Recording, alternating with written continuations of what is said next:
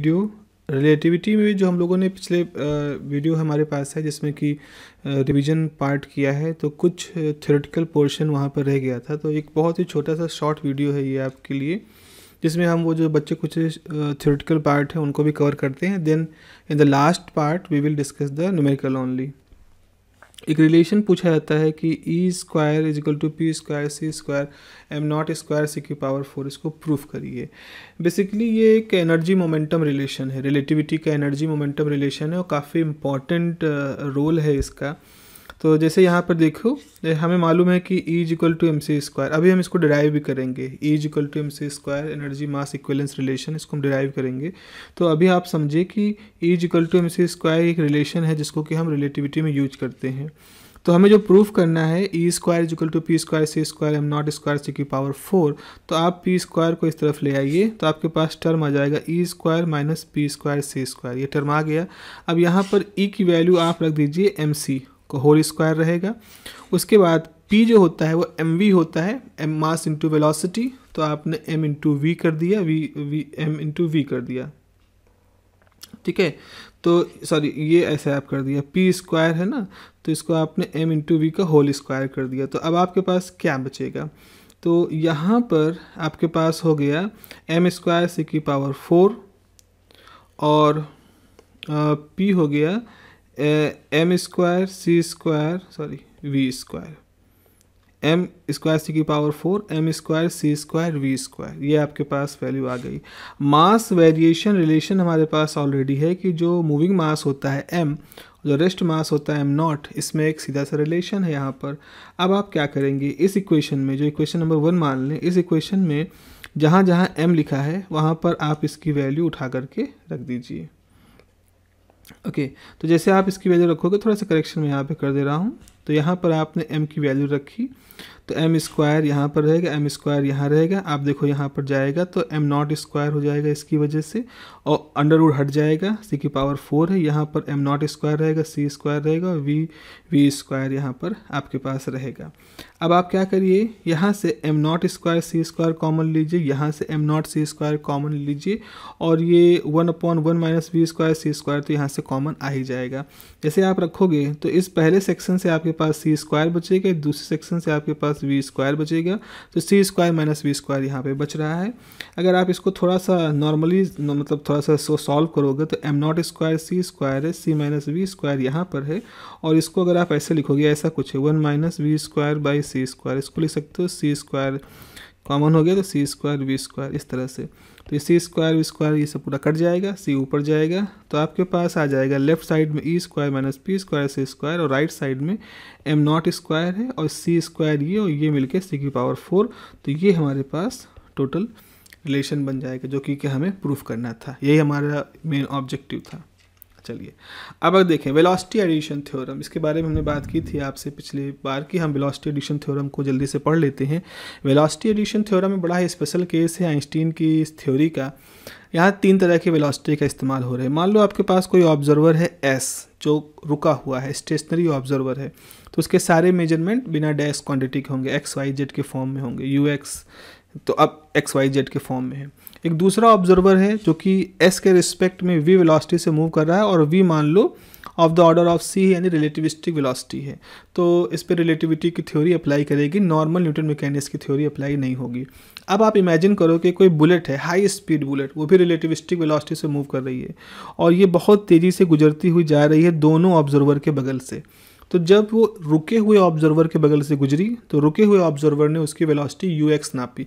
X क्योंकि X direction में bullet जा रही है। जब वो चलते हुए ऑब्जर्वर जो वी वेलोसिटी चल रहा था ऑब्जर्वर जब उसके बगल से बुलेट गुजरी तो उस ऑब्जर्वर ने, चलते हुए ऑब्जर्वर ने उस चलती हुई बुलेट की वेलोसिटी यू एक्स डैश मानी। डैश लगाया क्योंकि एक मूविंग ऑब्जर्वर ने उस बुलेट की वेलोसिटी को नापा है। ओके तो अब हमारे पास तीन तरह की वेलोसिटी है। Velocity of moving observer with respect to S S dash की वेलोसिटी एस के रिस्पेक्ट में। Velocity of bullet calculated by S रुके हुए ऑब्जर्वर ने जो बुलेट की वेलोसिटी नापी है यू एक्स फिर velocity of bullet measure by observer in S dash चलते हुए ऑब्जर्वर ने जो बुलेट की वेलोसिटी नापी है यू एक्स डैश अब ये तीनों तरह की वेलोसिटी हैं। वी यू एक्स और यू एक्स डैश ये आपस में कैसे जुड़ी होती हैं? इनको जोड़ने में जो रिलेशन है, उसी को हम velocity addition theorem velocity addition relation कहते हैं। तो ये कहता है कि यू एक्स यानी कि स्टेशनरी ऑब्जर्वर के द्वारा नापी गई बुलेट की वेलोसिटी मूविंग ऑब्जर्वर द्वारा नापी गई बुलेट की वेलोसिटी के बराबर नहीं होगी। अगर U X U X dash equal होता तो हम कहते दोनों बराबर वेलोसिटी नाप रहे नहीं, ये फॉर्मूला आता है जहाँ कि उस मूविंग ऑब्जर्वर की वेलोसिटी का भी रोल आ रहा है। अगर हमने यहाँ लेफ़्ट साइड में यू एक्स रखा है राइट साइड में यू एक्स रखा है, अगर आप इसको उलटना चाहते हो लेफ़्ट साइड में यू एक्स डैश लाना चाहते हो राइट डायरेक्शन में यू एक्स लाना चाहते हो तो आपको इस तरह से माइनस साइन को यूज़ करना पड़ेगा। डेरिवेशन में ये सब आता है। अब इस फॉर्मूले का, इस वेलोसिटी एडिशन थ्योरम का यूज़ क्या है? बहुत अच्छा सा यूज़ आप देखिए। हम लोगों ने पढ़ा था कि थ्योरी ऑफ़ रिलेटिविटी जो आइंस्टीन ने प्रपोज की थी, उसमें दो पॉस्टुलेट माने थे। स्पेशल थ्योरी ऑफ़ रिलेटिविटी के लिए दो पॉस्टुलेट उन्होंने बताए थे। एक पॉस्टुलेट कहता है कि all the laws of physics are same in every inertial frame of reference ठीक है? हभी सभी तरह के इनर्शियल फ्रेम ऑफ़ रेफरेंस में हमें फिजिक्स के नियम नहीं बदलेंगे। न्यूमेरिकल क्वांटिटी चेंज हो रही है, वो सब तो ठीक है, वो सब डाटा चेंज हो रहा होगा बट जो लॉ ऑफ़ फिजिक्स है, वो नहीं चेंज होगा। ऐसा नहीं होगा कि वहाँ पर law of conservation of linear momentum किसी और तरीके से लिखा जाएगा या वो फॉलो ही नहीं होगा। ऐसा नहीं है। वो रहेगा। न्यूमेरिकल वैल्यूज़ में कुछ बदलाव आएँगे। और दूसरा पॉस्टुलेट जो बहुत ही आश्चर्यजनक पॉस्टुलेट था, वो ये था कि वेलोसिटी ऑफ़ लाइट जो है, वो ऐसी चीज़ है, उसको आप चाहे रुक करके नापो, चाहे चलते हुए नापो, आपको सी ही मिलेगा। यहाँ तक कि अगर वेलोस्ट अगर लाइट आपकी तरफ़ आ रही है और आप लाइट की तरफ़ जा रहे हो लाइट की वेलोसिटी से ही जा रहे हो। मतलब उधर से लाइट आ रही है सी वेलोसिटी से आप जा रहे हो सी वेलोसिटी से जब दोनों आपस में मिलोगे तो आप जब उस लाइट की वेलोसिटी निकालोगे तो सी ही आपको पता चलेगी। नॉर्मली ऐसा नहीं होता। नॉर्मली क्या होता है? अगर हम इधर से जा रहे हैं सत्तर किलोमीटर की स्पीड से, इधर से कोई आ रहा है पचास किलोमीटर की स्पीड से, जब हम एक दूसरे को क्रॉस करते हैं तो हम एक दूसरे की गति को ऐड होता हुआ मानेगा। मान महसूस करते हैं। मतलब हमें सत्तर नहीं पता चलेगा। हमें लगेगा सामने वाला एक सौ बीस की स्पीड से भाग गया। उसको भी लगेगा कि ये वाला एक सौ बीस की स्पीड से भाग गया। ऐसा आप लोग कभी देखते होंगे ट्रेन यात्रा कर रहे हो कोई बगल से अपोजिट डायरेक्शन से आती हुई ट्रेन जब गुजरती है तो बहुत हाई स्पीड में वो चलती हुई महसूस होती है। वहाँ पर तो काम कर रहा है लॉजिक लेकिन लाइट केस में लॉजिक काम नहीं करता। तो ये एक प्रिंसिपल ऑफ़ कॉन्स्टेंसी है लाइट के साथ में तो उसको कैसे प्रूफ किया गया? सुनने में बड़ा ही आ, वो असंभव सा लगता है बट इस चीज़ को आइंस्टीन ने इस रिलेशन से प्रूफ किया था।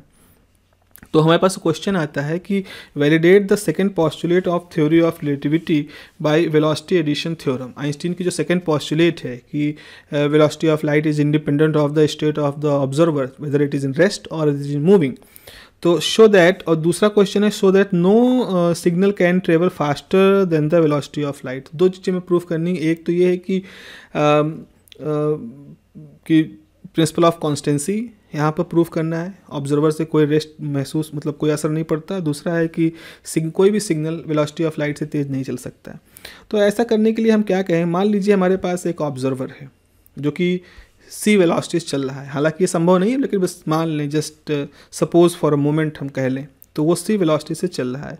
तो एक लाइट बीम है passes nearby this moving observer and the observer calculated the velocity of light as U X dash C तो एक व्यक्ति है जो सी वेलोसिटी से जा रहा है, उसके बगल से एक लाइट गुजरी है तो उस लाइट की वेलोसिटी उस सी वेलोसिटी से चलने वाले ऑब्जर्वर ने सी मेजर की है सपोज़ तो चलता हुआ ऑब्जर्वर इस लाइट की वेलोसिटी को सी मेजर कर रहा है।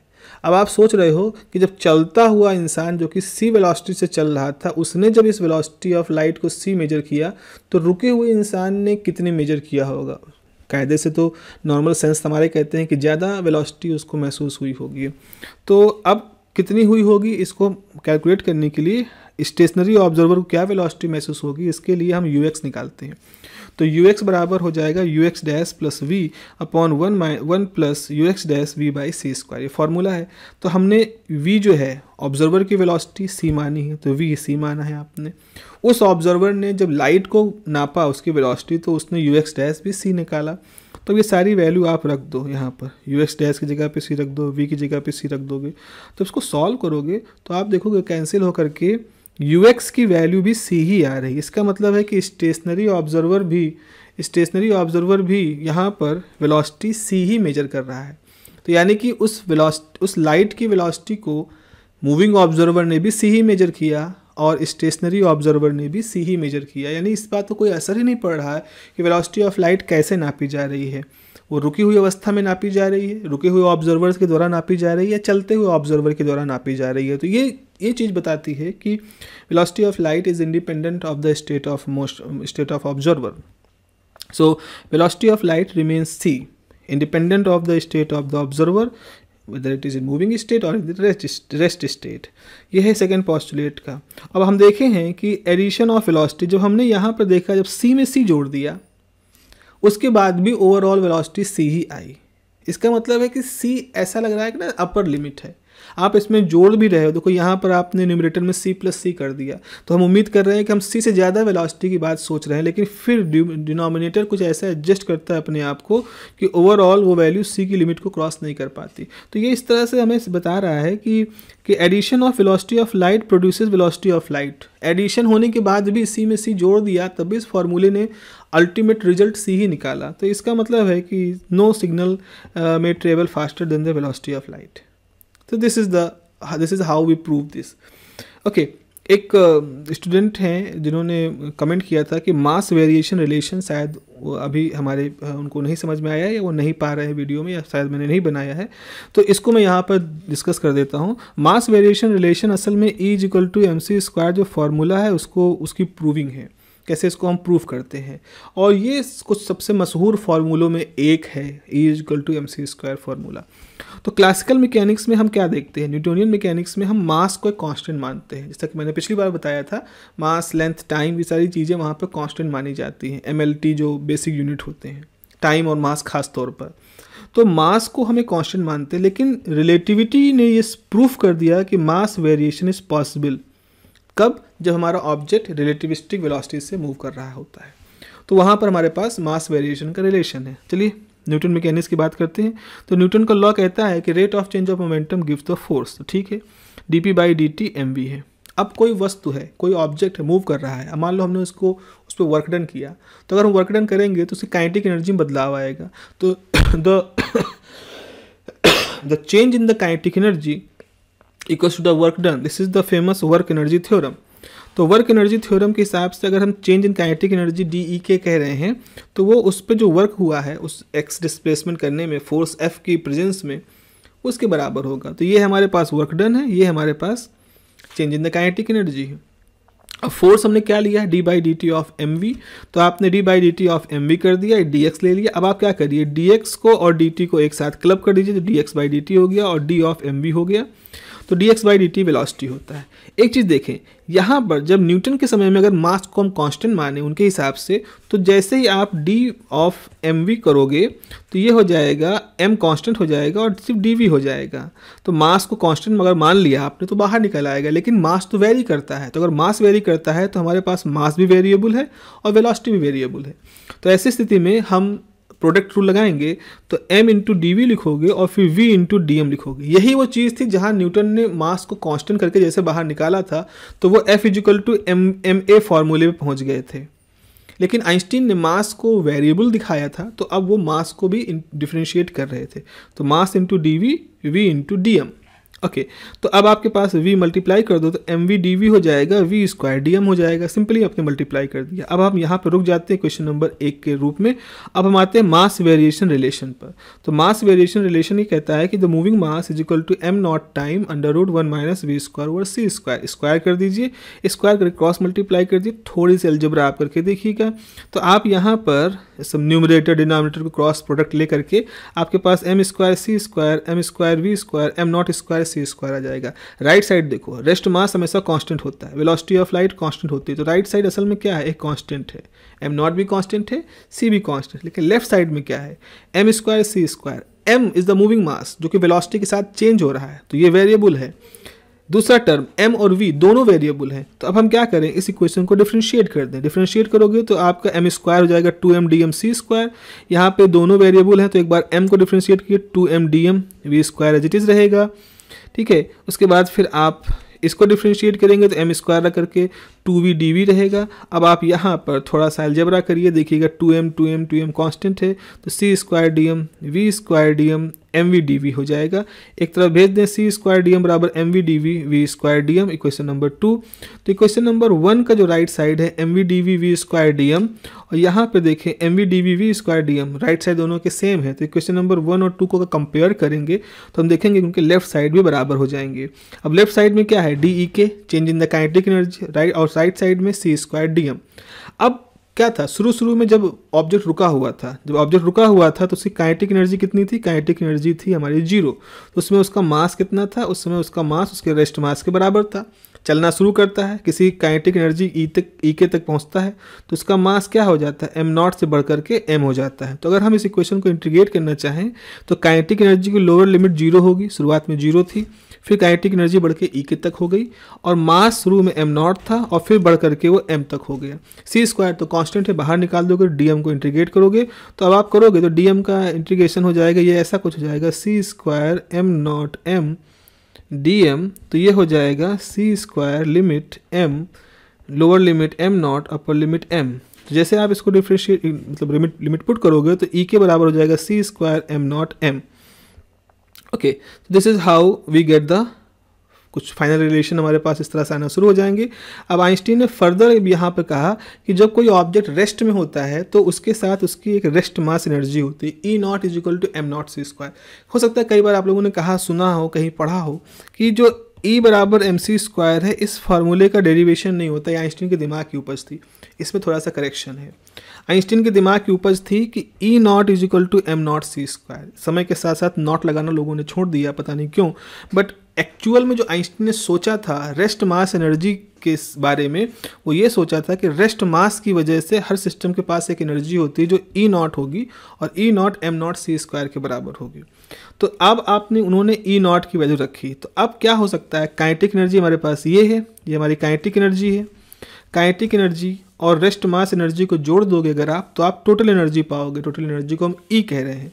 तो आपने काइनेटिक एनर्जी रखा C square M minus M nought rest mass energy M nought C square.